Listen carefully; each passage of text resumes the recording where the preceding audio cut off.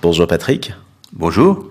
Alors aujourd'hui, on va parler dans ce podcast d'un sujet qui touche, et là, autant vous dire que c'est extrêmement important, le sujet qu'on va aborder aujourd'hui. Euh, nous allons parler de la peur, un sujet qui touche exactement 7 milliards d'habitants sur cette planète, parce que la peur arrive dès qu'on est. Hein, on a tous des craintes, on a tous des peurs, on a tous déjà eu peur de quelque chose. Même la personne qui vous paraît la plus forte au monde, avec un, un, caractère très très fort, a forcément déjà eu peur de quelque chose. Alors avant de vous donner des solutions pour vous aider à avancer sur vos peurs, euh, vous donner certaines clés, on voudrait, euh, Patrick, comprendre le mécanisme de, la peur. Comment ça se passe? Pourquoi on a peur? Moi, je pense que la peur, euh, déjà, c'est quelque chose qui fait partie euh, bah, de, de, tout être humain que nous sommes, parce qu'en fait, euh, bah, on a, tu as dû entendre parler de cerveau reptilien, tu sais, la, la notion de fuite ou attaque. Oui. Hein, voilà, donc euh, bon, bah, cette peur, euh, elle est là, c'est presque, j'allais dire, l'instinct de survie qui se manifeste, soit par, avec la peur, c'est soit je fuis, je me sauve en courant, soit j'attaque. Et d'ailleurs, c'est aussi les animaux. Des fois, on nous dit, bah oui, mais euh, euh, le chien, euh, il a eu peur et il t'a sauté dessus, par exemple. Alors qu'est-ce qu'il faut faire? Faut qu'on attaque tout le temps? Ben non, parce que justement, c'est ces deux versions de nous-mêmes. C'est fuite ou attaque en fonction du danger, en fonction de comment, comment dire, de de, bah, de ce qui se passe autour de nous, de l'environnement. Il y a des situations où, par peur, on, on, on va on va bondir sur la personne, et puis par, parfois c'est tout l'inverse. Voilà. Donc après, euh, l'idée n'est pas d'éteindre ça en disant non, faut plus que j'ai peur dans ma vie parce que ça fait partie de la vie. L'idée, c'est justement de vivre avec et de savoir quoi faire de cette peur parce qu'une peur, eh ben, c'est une émotion et comme toute émotion, eh ben, le but c'est de se mettre dans l'action. Donc en fait, l'idée de la peur, c'est euh, en réalité, tu parlais de solutions, mais déjà l'une des solutions, c'est de se dire comment apprivoiser le fait que ça fait partie de la vie. C'est une peur. Euh, les, les, les, chanteurs, les acteurs qui ont le trac, euh, ils, ils, ne cherchent pas à éliminer le trac, ils, ils, cherchent à le dompter, à se dire oui, j'ai le trac, et la prochaine fois que je monterai sur scène, bah, je vais faire en sorte d'apprivoiser ça. Mais ça fait partie de leur euh, voilà, de ce qu'ils savent quoi. Ils savent que quand ils vont monter sur scène, de toute façon, il y aura le trac. Bon, on dit souvent que, que c'est ça. J'ai vu beaucoup d'interviews euh, d'acteurs hein, qui font du théâtre et qui disent qu'ils sont morts de trouille avant de monter sur scène, mais lorsqu'ils sont sur scène, ça disparaît et ils ne veulent plus quitter la scène. Oui, parce qu'en fait, la peur, elle précède l'action. C'est-à-dire, en fait, on a peur de quelque chose parce qu'on ne sait pas encore ce qui va se passer. Et donc, euh, comme tu disais, euh, on est tous concernés par la peur parce qu'on a tous euh, euh l'idée d'un futur avec des pensées, et si ça se passe comme ci, et si ça se passe comme ça, un scénario entre guillemets négatif dans l'esprit des gens la plupart du temps. Alors bien sûr, on peut avoir un, scénario positif aussi. D'ailleurs, c'est ce qu'on fait euh, quand on accompagne des gens en coaching ou en hypnose, on leur donne un scénario autre. Parce que dans leur formatage intérieur, les gens, la plupart du temps, ils pensent au scénario négatif. Donc le but, euh, ben, évidemment, c'est euh, de se dire qu'il y a aussi la possibilité que ça fonctionne bien. Parce que c'est euh, heureusement euh, d'ailleurs souvent ce qui se passe. Le scénario catastrophe, souvent on, on, on, se fiche la trouille pour rien et souvent on se dit bah finalement ça s'est bien passé. Donc pour répondre à ce que tu dis, l'acteur en question, bah évidemment il est mort de trouille au début et puis une fois qu'il est dans l'action, bah il ne pense plus de la même manière puisqu'il est dans son truc. Que ce soit un pianiste, un chanteur, un joueur de, de quelqu'un qui joue, euh, qui, qui fait une pièce de théâtre, ça y est, il est dans son rôle, il est rentré dans le personnage. C'est différent et la peur de la mort dans ce cas-là. Parce que je veux dire une fois que t'es mort là tu peux plus te dire bon bah ça y est j'y suis. Bon ça c'est un sujet quand même qui ça aussi touche énormément de personnes. Je pense que c'est même la peur numéro un parce que le premier sentiment de peur qu'on puisse avoir c'est la peur de, de, de la mort. Euh, voilà. Est-ce que tu, tu, tu pourrais donner justement une quelques solutions aux gens pour bah, pour leur expliquer comment on ne pourra jamais enlever la peur de mourir. En revanche, comment essayer de mieux vivre les choses? Je parle bien du mot vivre. Et oui, vivre, parce qu'il y a beaucoup de gens qui, qui existent, mais qui oublient de vivre. Hein, et c'est important de faire la différence, euh, parce que bon, exister, bon ben on existe, on est là, et il y a des gens qui existent et qui sont morts de trouille. C'est pas pour faire du jeu de mots, mais c'est ça l'idée. C'est d'arriver à ce qu'on puisse finalement euh, se dire que de toute façon, tôt ou tard, ben on y passera tous, mais c'est-à-dire se recentrer sur le présent parce que la vie, elle est maintenant aujourd'hui. Et c'est de se focaliser sur ce qui est là aujourd'hui.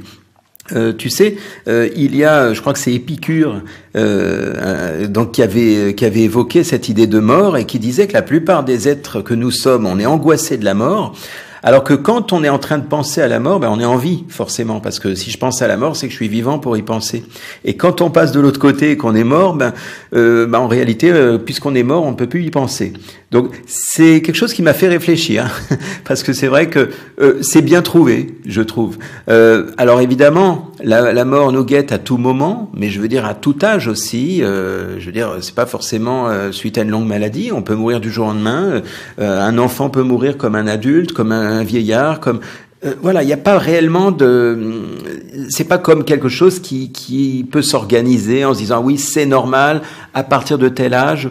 Ben non, parce que ça peut arriver n'importe où, n'importe quand, en fait. Oui, mais alors euh, dans ce cas-là, euh, parce que là on parle de notre propre mort, mais parfois on peut être extrêmement angoissé, de peur de perdre un proche. C'est pareil. Alors, euh, en général, comme on dit, c'est ceux qui restent qui souffrent. hein, C'est-à-dire que raison de plus, euh, raison de plus, ne pas avoir peur de, de mourir soi-même, mais d'avoir peur qu'un proche euh, décède. Bah, voilà, peur qu'un proche décède. Euh, bah, cette peur, c'est pareil, c'est une peur parce qu'on ne sait pas ce qui va se passer, on ne sait pas ce qu'il y a derrière, et on ne sait pas après tout qui nous dit que euh, ce proche, une fois décédé, il n'est pas finalement libéré de quelque chose dont on ne connaît pas nous ici sur Terre bah, l'existence, quoi. Parce qu'en fait, comment dire, Einstein, je crois, disait que comment dire, tout est énergie et euh, que finalement bah, rien ne meurt, tout se transforme en fait. C'est-à-dire qu'en fait une énergie, elle peut pas du jour au lendemain disparaître comme ça, elle, se transforme, elle part bien quelque part. Et en fait, euh, bah, je ne sais pas finalement moi euh, et peut-être vous non plus ce qui se passe après, mais ce qui est certain, c'est que à mon avis, bah, comme on n'est pas là de l'autre côté, bah, on ne peut pas savoir ce qui se passe. Et c'est ça l'angoisse. Je pense que l'angoisse, la peur, elle, est là euh, on parle de la mort, mais on parle aussi de tout le reste. Hein. Euh, les gens sont angoissés parce qu'ils ne savent pas encore. Comme ne pas savoir ce que c'est que d'être marié et avoir peur de, de demander, par exemple, sa peut-être sa future femme en fiançailles, euh, la peur d'avoir des enfants, la peur de quelque part, voilà. Par exemple, regarde, tu as envie d'avoir un enfant, bon bah, tu vas penser à quoi directement? Parce que ce foutu cerveau pense toujours le pire. C'est, c'est, dingue, hein. le cerveau va toujours imaginer le pire, le pire, le pire. Donc qu'est-ce qu'on va se dire? On va se dire, bon bah là j'ai un enfant, ça y est, je suis emprisonné, je vais plus pouvoir sortir, je vais plus pouvoir partir en vacances, je vais être réveillé toute la nuit. voilà, c'est... Alors je vais te dire, euh, parce que tu es quand même un, professionnel hein, de, de, bah, du, du cerveau, du mental, pourquoi le cerveau imagine toujours le pire? Pourquoi? J'ai même, même si effectivement en tant que professionnel on pourrait penser que bah, que je sais ça, euh, bah, justement je n'ai pas la réponse. Euh, je suis même euh, moi-même étonné chaque jour de voir des gens qui sont formatés comme ça tout le temps à penser au scénario négatif. Parce que il y a des il y a d'autres versions, effectivement, mais effectivement, euh, la plupart du temps, les gens pensent à ce que, euh, à ce qui pourrait se passer si, etc., etc. C'est le scénario négatif, la peur, le scénario catastrophe. Alors heureusement, on peut changer ça. Hein, ça heureusement parce que c'est quelque chose qui se programme pour finalement voir, comme on dit, la vie en rose plutôt que de voir tout gris dans notre esprit, plutôt que de voir le négatif. Euh, c'est comme un apprentissage à mettre en route. Mais j'ai l'impression que hum, c'est comme si euh, quand on est gamin, on est formaté au négatif.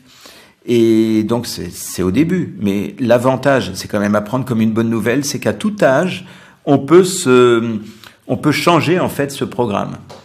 C'est un peu mon quotidien en fait. C'est ce que je fais euh, dans les accompagnements, c'est faire en sorte que les gens euh, puissent penser enfin dans leur vie euh, à quelque chose de positif.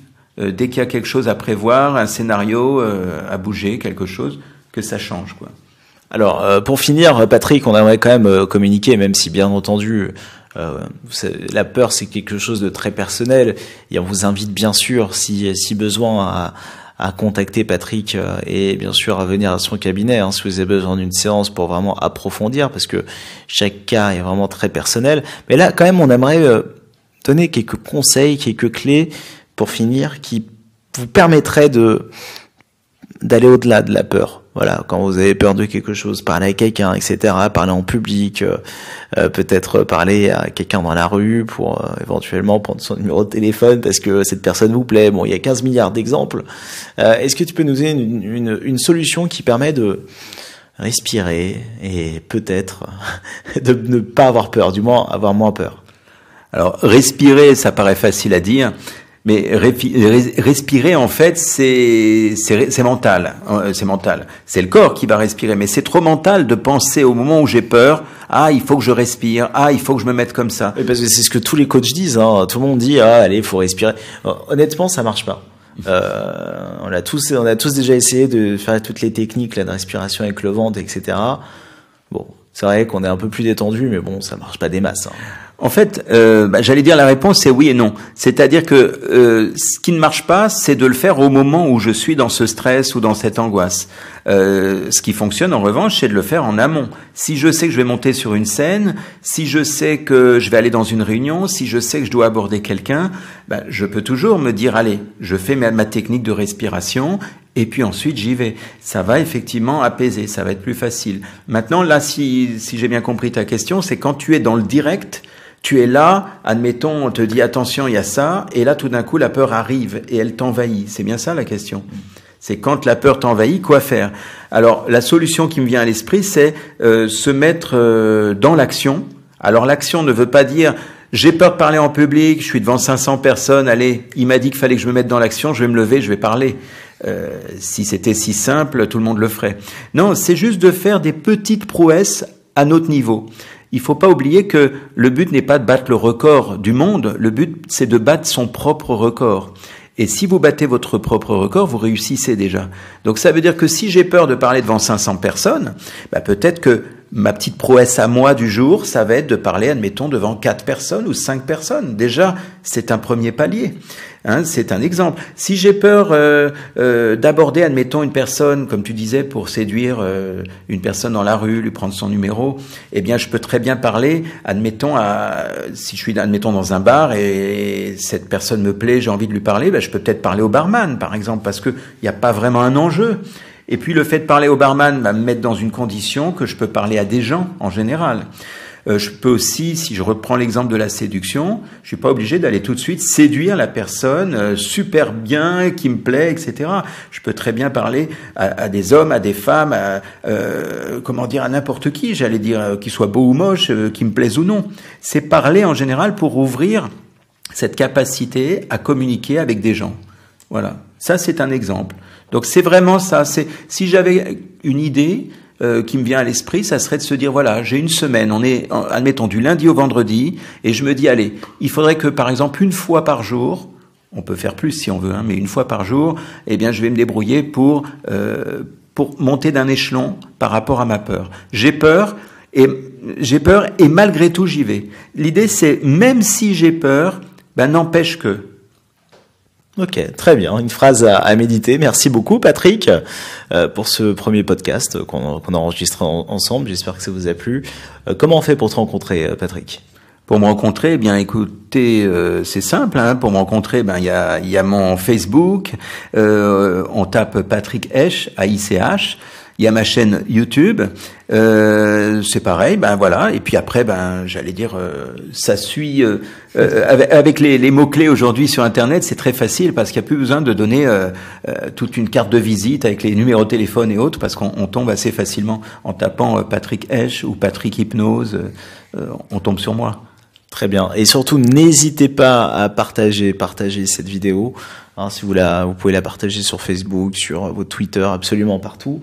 Euh, merci beaucoup. On tient aussi à remercier toutes les personnes qui envoient énormément d'emails euh, à Patrick, euh, voilà, qui demandent des rendez-vous, qui euh, il y a aussi énormément de réactions pour toutes les vidéos qu'on a pu euh, enregistrer. Vraiment, c'est impressionnant. On reçoit des, des messages hein, du monde entier, du, du monde francophone notamment euh, du, du, Canada. Il y a beaucoup beaucoup de messages du Canada, du Québec, voilà, euh, d'Afrique du Nord aussi. Euh, voilà, en tout cas, on tient vraiment à vous remercier.